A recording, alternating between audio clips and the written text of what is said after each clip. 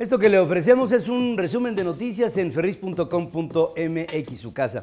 El Senado concluyó la aprobación de los cuatro dictámenes de las leyes secundarias en la reforma energética. Son en total 15 normativas que regularán la participación del capital privado en este sector, que es estratégico para el desarrollo del país, pero que mantienen la rectoría del Estado sobre los recursos naturales y buscan hacer de Pemex y de la Comisión Federal de Electricidad empresas competitivas, sustentables y con viabilidad financiera, según dicen los defensores a ultranza, claro, ubicados en el PRI y en el PAN. El proceso pasó ahora a la Cámara de Diputados que prevé aprobarla en comisiones en esta misma semana y ante el Pleno a partir de lo que será la semana que entra para el lunes estará esto siendo discutido ahí. El gobernador de Puebla ya está lleno de frío. Rafael Moreno Valle solicita al Congreso del Estado la abrogación de lo que acaban de promover, la ley para proteger los derechos humanos y regular el uso de la fuerza, conocida popularmente allá como la ley Bala luego de la muerte el pasado fin de semana de este niño José Luis Leguatlie, herido en la cabeza presuntamente por una bala de goma que le causó un derrame y después muerte cerebral y después la muerte luego de un operativo policíaco el pasado 9 de julio, a pesar de que justo la policía negó haber utilizado este tipo de proyectiles. Seguramente fueron eh, los marcianos, ya saben. El Congreso poblano se dispone a discutir hoy este mismo asunto y con ello ya por lo menos pesará en la mente, se pesará del gobernador que haya habido un niño de 13 años muerto. tal vez no le importe mucho, le importará más la parte personal. Rosa María Verduzco, la mamá Rosa, no fue consignada por posibles delitos en que habría incurrido al frente del albergue de la gran familia debido a su condición de senilidad, por lo que fue declarada inimputable, según dice el procurador Jesús Murillo Caram.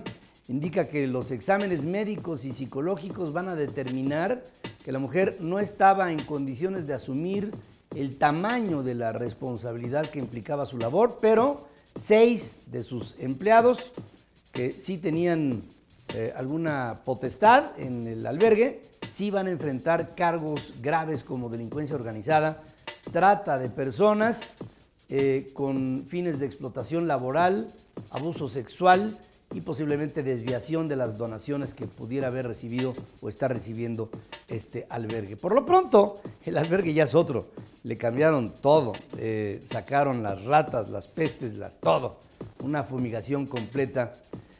Y esto para lavar la cara, seguramente de la irresponsabilidad que el gobierno históricamente ha tenido en este tipo de problemas.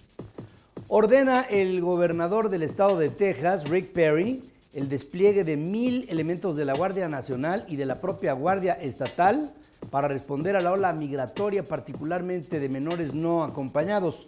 No me voy a quedar, dice, con los brazos cruzados mientras nuestros ciudadanos están bajo asalto, dice Perry, al argumentar que los cárteles y bandas de traficantes de personas están explotando esta situación.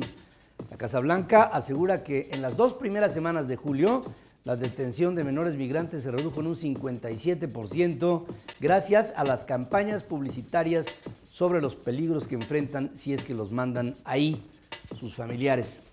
Un camarógrafo palestino muere al ser alcanzada la ambulancia a la que viajaba por un proyectil de mortero en la zona de Gaza.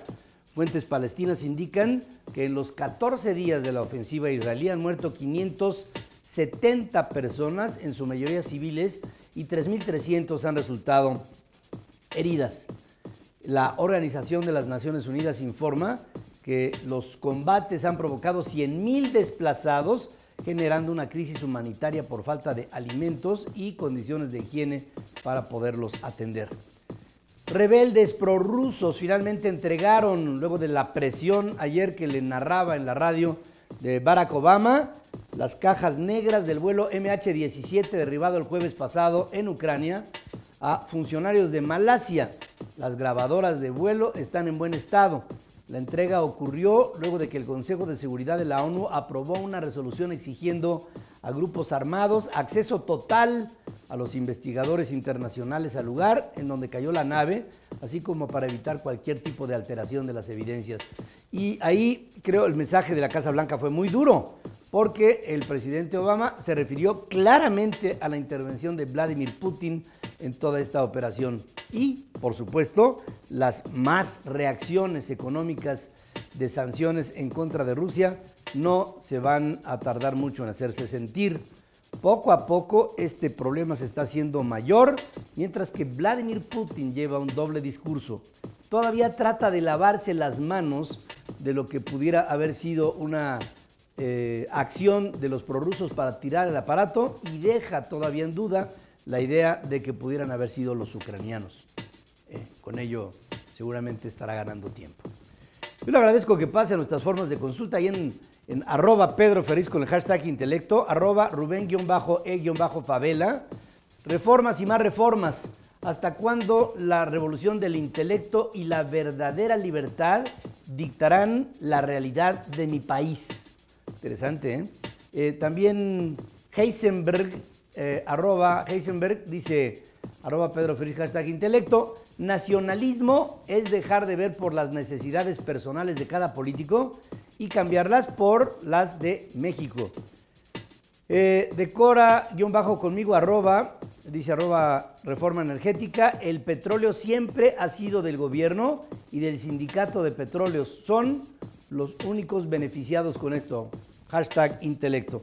Gracias, gracias por estar aquí. Yo estoy seguro que usted y yo tenemos muchas, muchas cosas que decirnos. Por cierto, eh, fíjese que acabo de ingresar en la parte mexicana a un evento que me emociona, que es eh, una idea para cambiar tu historia. Esto es del History Channel y tiene, tiene, creo, la base de lo que se propone por el canal, que es el que todo el público aporte ideas para cambiar condiciones eh, de estas imperantes en América Latina, para dar una idea nueva a través de una historia nueva.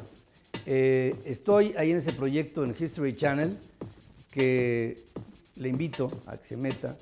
Yo creo que hay cosas que usted trae en la propuesta de la revolución del intelecto que ahí pudieran quedar, pero como anillo al dedo.